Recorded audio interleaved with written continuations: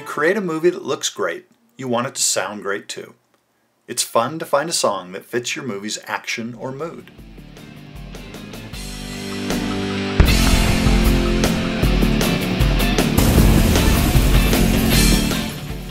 The problem is, your song may be longer than your movie.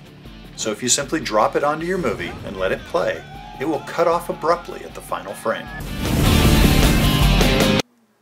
Not a very smooth ending for your movie. Premiere Elements has a great way to solve this problem. Pick any music file and it automatically remixes to match the length of your movie. The result is a new version of the song that stays true to the soul of the original. The song sounds natural throughout and it ends on just the right note to finish off your movie in style.